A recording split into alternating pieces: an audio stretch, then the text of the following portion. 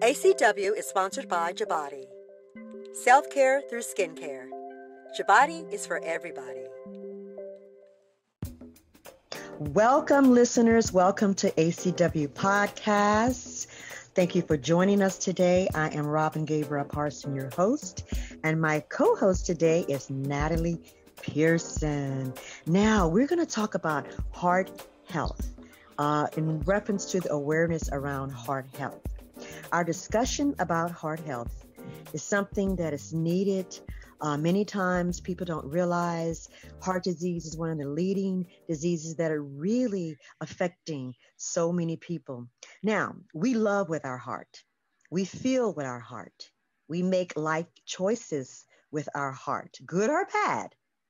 The heart gives us life, but yet is the most at risk organ in our body. When the body is plagued with other health disparities, the heart always feels the effects. How do we take care of our heart health? Well, today I will introduce a very, very, very dear friend and family. Been knowing her for over 30 years, and we're going to talk about how to take care of the heart. Now, my co host, Natalie Pierson, she is a heart failure coordinator at the University of Pennsylvania. She works with patients with heart disease, and she is an American Heart Association volunteer and advocate.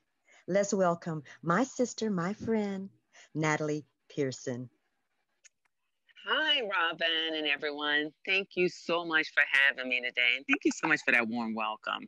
But like Robin said, I am a heart failure coordinator. I'm a nurse. I'm a nurse. Um, and I've been a nurse for over 30 years now. I'm a proud graduate of um, Charity School of Nursing.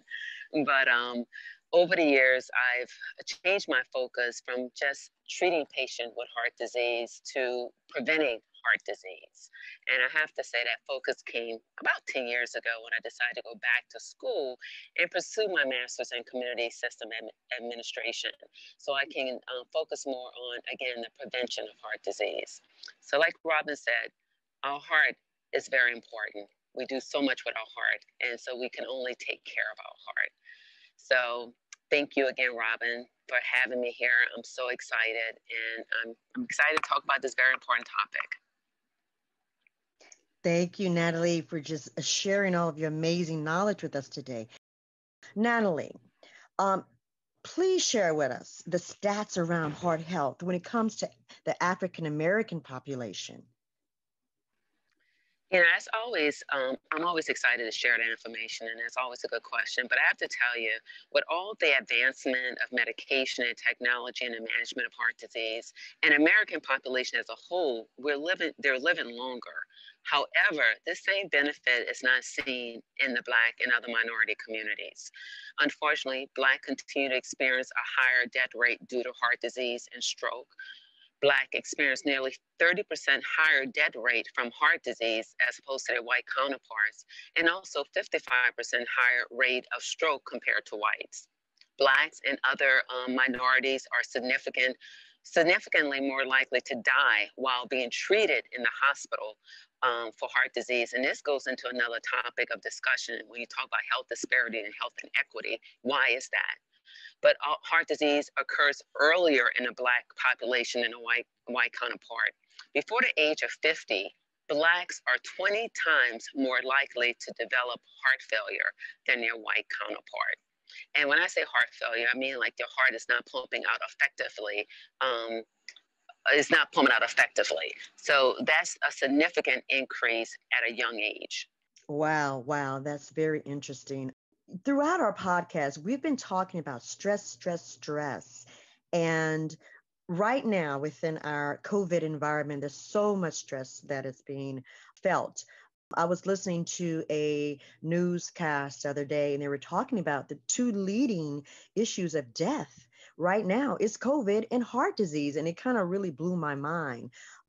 And as you mentioned, who is the greatest risk of dying from heart health disease is the African American population.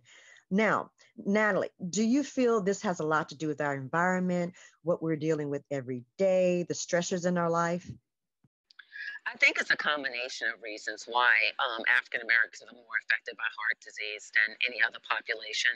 Some could be some of the modifiable risk factors such as high blood pressure, um, diabetes, obesity, but still a large portion of it is still with our social determinants of health, meaning some of our environmental factors that can affect our heart disease. And that's a, a we're finding more and more those outside stimulus plays a big part on how well we do as a culture. And you're you're absolutely right. Stress has a huge impact on how we're doing. And speaking of this COVID environment, not to get off the subject a little bit, but we're it's COVID is um, has um, consumed our lives. And what's happening, what we see a lot in, in our practices, we're focused on COVID and it's affecting our other problems because we're not seeking medical help because of fear of the COVID virus. And that, that impacts our outcome as well. Now, Natalie, um, symptoms of heart disease, because a lot of people don't know they're walking around with heart disease. Let's talk a little bit about the symptoms. You know, the symptoms of heart disease um, is sometimes really tricky because we may not have always have symptoms of heart disease. You know, again, I'm talking about high blood pressure because um, high blood pressure is one of the leading cause of heart disease in the Black community. And high blood pressure is called the silent killer it's not the silent killer for no reason. Uh, but the problem is sometimes we may not have symptoms of high blood pressure until our, high, our blood pressure has been high for a number of years and over time. And by the time we start experiencing the symptoms, you know, damage has already occurred. So some of the symptoms may not show till later, later in life. And the same thing with a stroke. And when you talk about um, coronary artery disease or plaque building up, plaque builds up over time, and sometimes the result of the plaque buildup may be a stroke, and that could be the symptom of what has been a long time effect. But heart disease um, in women, and that's one of the reasons why I really got involved with the American Heart Association because we talk about health disparity among races and ethnic group, but we also have to talk about the health disparity and the difference between gender. So, women, when you talk about symptoms specifically, women's symptoms of a heart attack are usually much different than men. It's not your typical chest pain, I'm coming to join you, Elizabeth, you know, symptoms that you sometimes see or you remember from Fred Sanford for those old, old enough to remember that. But right, right. but sometimes the, the symptoms for heart disease in women are very subtle, like nausea, vomiting, more GI, fatigue, feeling not feeling themselves. So, as women, we need to be our biggest advocate when something's not right or something feels not right. We need to seek that medical attention and listen to the signs that our bodies are telling us. Now, when you say women, again, I, I have to kind of look at the African American population. Do you find more women of color are dealing with heart disease more so than our counterpart? That most definitely. So when I say gender, so if you add being of color that increase your risk even more. So when you talk about women being undiagnosed or underdiagnosed or undertreated, just increase those rates among African Americans and other minorities. Again, that goes into the health inequities and disparity that we see among race. So it's a problem along gender line, but also it's a you add increased problems along the racial or ethnicity line as well. Now, what I find interesting, I'm just going to kind of share something when it comes to women and heart health.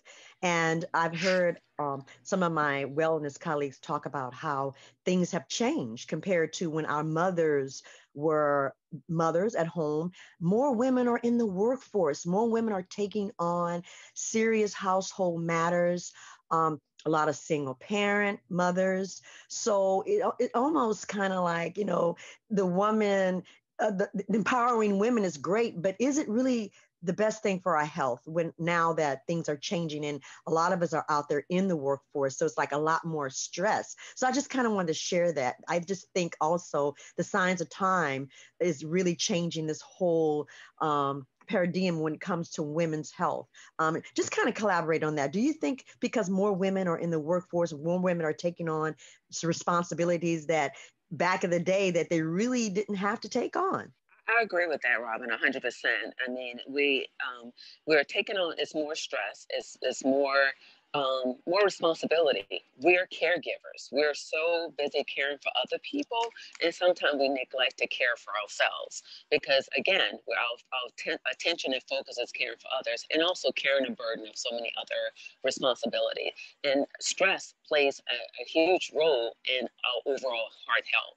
Yes, yes, definitely. Now, Natalie, why is it important for an individual to manage that blood pressure, that cholesterol, uh, their blood sugar levels? Are there numbers? Why is it so important that we pay attention to those aspects of our health? You know, like I said before, high blood pressure is the number one cause of heart disease, and that's one of the most modifiable risk factors as when you talk about high blood pressure, obesity, diabetes, and cholesterol, all those things are very important. And one of the things I like to tell people is it's important to know your numbers. And when we're talking about knowing our numbers, we're talking about the, the blood pressure, the cholesterol, your blood sugar, because all those numbers can affect your overall health. Um, and when you your your cholesterol, we want to make sure your cholesterol is less than 200. And uh, like I said before, you don't, a lot of times we don't know when our cholesterol is high. But if you go to your doctor, have your cholesterol checked, and ask the doctor, what is my cholesterol? So you will have some knowledge of it and to be more of an active participant in your health care. So by decreasing your cholesterol, you can also decrease the narrowing of and blockages in your arteries that can sometimes cause heart attacks and strokes by decreasing your blood pressure, you also decrease the resistance that your heart have to work against that's causing more damage and um, decreasing the oxygen demand of your heart. You want to decrease that demand that your heart is putting on the rest of your body by decreasing your blood pressure. And also diabetes. Diabetes is a brutal illness that affects all your systems. And if you have diabetes, you have a two to four greater two to four times greater chance of having heart disease than someone who does not have diabetes. So again, having those numbers under control is a huge help for your overall well-being. And I'm not sure about I said about weight, but you know, maintaining a healthy weight is also important because again, that can affect your overall heart health as well. Thank you, thank you, Natalie. And you know, Natalie, I just want to add to that. Um, when you, as an individual going to a doctor, something you said is very important. Asking your doctor what those those numbers mean. What is cholesterol? Having that conversation with your doctor. That that is what you pay them for. And I find a lot of times people are afraid to ask questions when they go to the doctor's office. Um, not sure how people how often people have their biometric screening done. But it's important if you can do it annually and share that with me. How often should a person check their cholesterol or their blood pressure or, or their blood sugar level you know, Robin, you're absolutely right. Having conversation with our doc with doctors can sometimes be very hard for patients, and um, I think it's so important to feel empowered to do this because they're working for you ultimately, and you know, and you should be an active participant in your health care. And having them tell you my blood pressure is good is not good enough. What is good? Because now the guidelines for blood pressures have changed. It's no longer, you know, 130, 140 now the good blood pressure is less than 120 over 80. That being said, it really depends on individual. If you talk to some cardiologists or some doctors for older population, they may want to stay a little bit higher, more than 130. But at any rate, the conversation you want to have with your doctor, what is my normal? And why is that normal? Understanding the numbers, like what should my cholesterol be? And tell me why. It's okay to ask why. And if they don't, if you don't understand the why, ask again. Because sometimes medical technology is a different language. It's like speaking a foreign language, and and you don't always understand. And no, the only way that we know you don't understand is to ask that why, or can you repeat that again? So it's very important. And as far as how often you should have it done, it really depends on your situation, your medical history. If your blood pressure is borderline, if the, like I'm gonna give you an example. If your blood pressure is like 140 over 90, some of the um, recommendation is for you to try to do some lifestyle modification, continue to monitor your blood pressure at home, and then after a few months of lifestyle modification, meaning like exercise and diet and um, no alcohol or drink, uh, smoking, then you may have to be on medication or you know some other changes. So it really depends on your what's going on. But usually once a year is recommended for those biometrics, like Robin said, like your hemoglobin A1C, your blood sugar, your cholesterol panel, um, and definitely blood pressure checks should be done several times a year. Thank you. Thank you, Natalie. Now, Natalie, there is a program that you are volunteering from, and I, and I just love your passion around this uh, Healthy Heart Avocation and working with the Heart Health Associ- uh, Association, Natalie. That is really, really wonderful that you're out there doing community work. And we want, I want to talk more about, you know, your passion behind that. And also, I want to talk about how you were able to help an interfaith community with heart health. So tell us more about this Life Simple 7 wellness program that the American Heart Association has. And it's a free program, and you're right there in the community making sure people are introduced to this program. So tell us more about that. You're right, Robin. I'm really, I, I, love this. Life Simple 7. I mean, one of the problems I have as healthcare professionals, we always tell people what they can't do and it's so much better if we tell it's so much easier if somebody tell me what I can do. So you think about it. Somebody tell you, I'll give you a guide to decrease your um, cardiac risk by 20%. Would you would you do it? A decrease your cardiac death by 20%. Sounds like a good plan to me.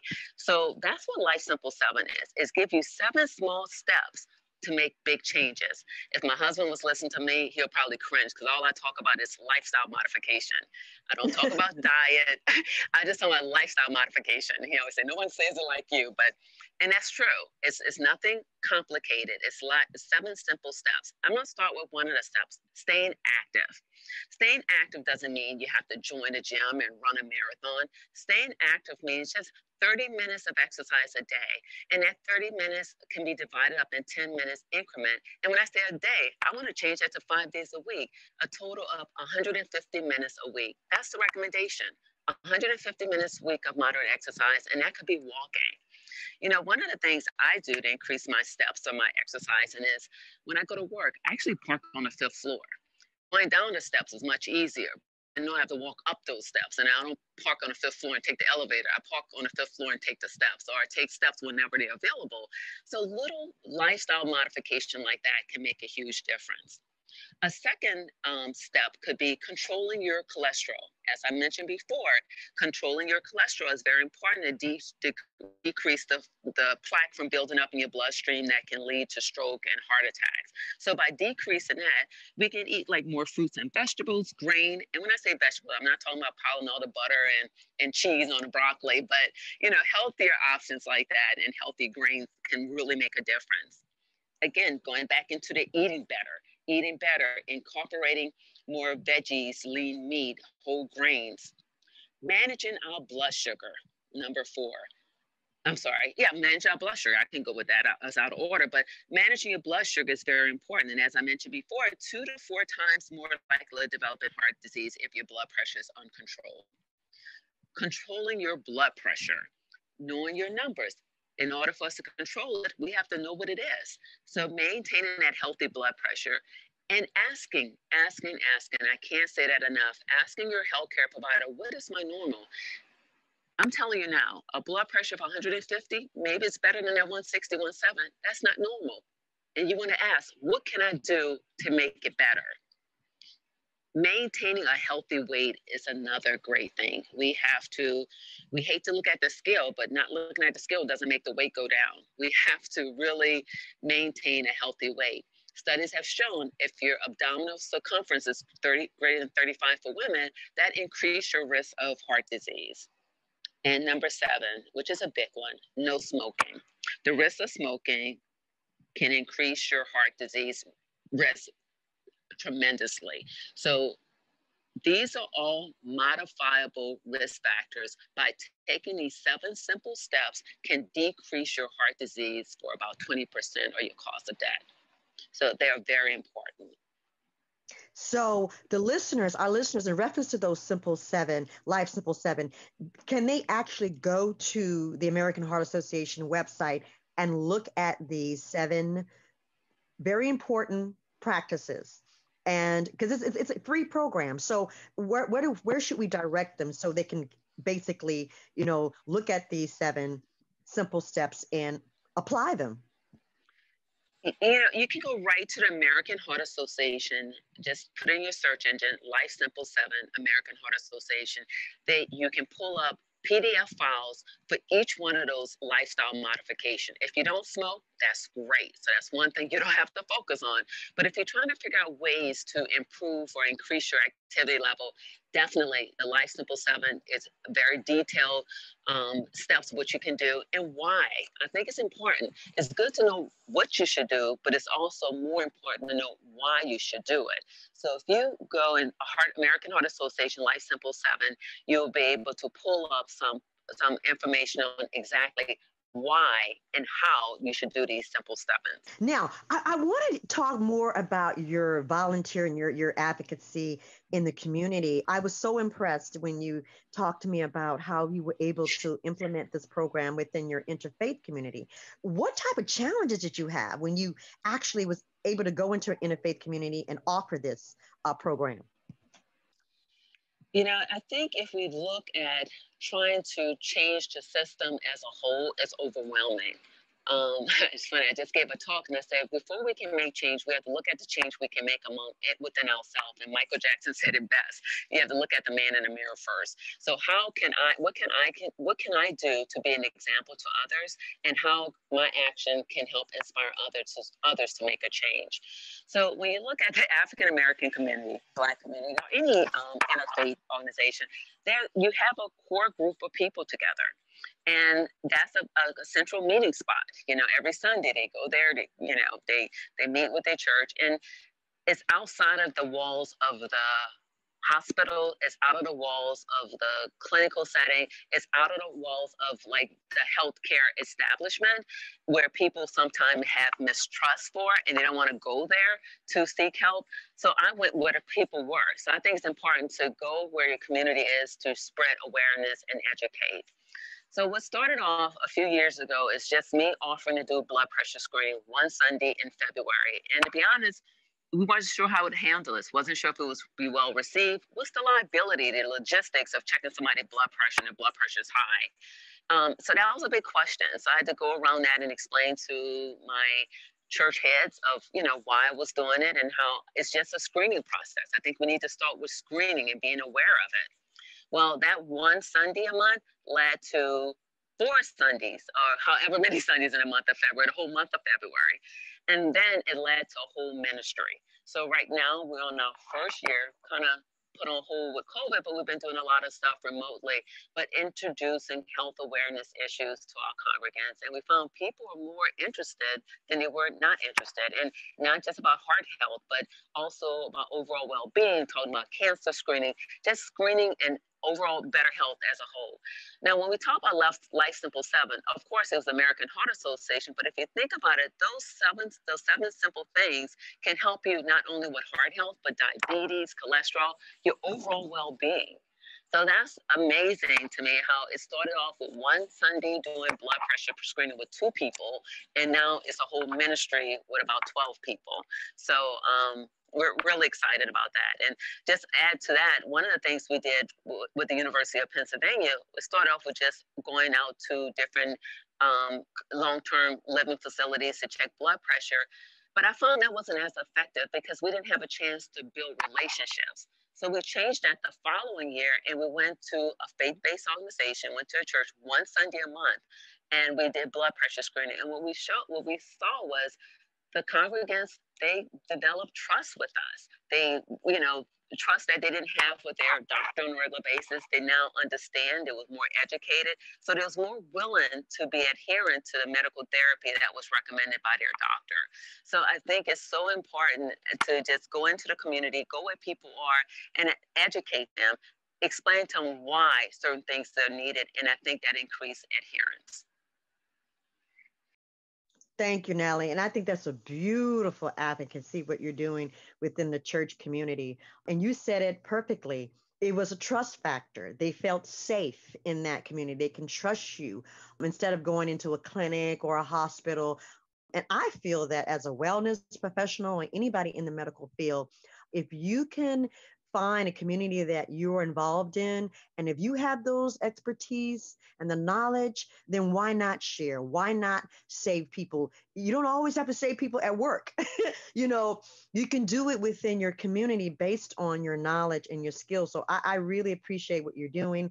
And I'm hoping the listeners are taking in. And if we have any listeners out there who are in the health um, field, if you have a, a church family, use those experiences and those and, and the skills and help because so many people uh, again don't really trust the medical community. So if you can take people out of that and wherever you are and share that information that is so powerful. So I, I really thank you for that. So natalie before we leave i just want to do that list of simple seven and give people again a, a direction to go to look for the simple seven. And just any information they may need, how they can get to that uh, website. So can you just list those simple seven um, practices again for me, please? okay, the seven simple steps to big changes. One, get active. Two, collect, control your cholesterol. Three, eat better. Four, manage your blood pressure. Five, maintain a healthy weight. Six, reduce your blood sugar. And seven, stop smoking.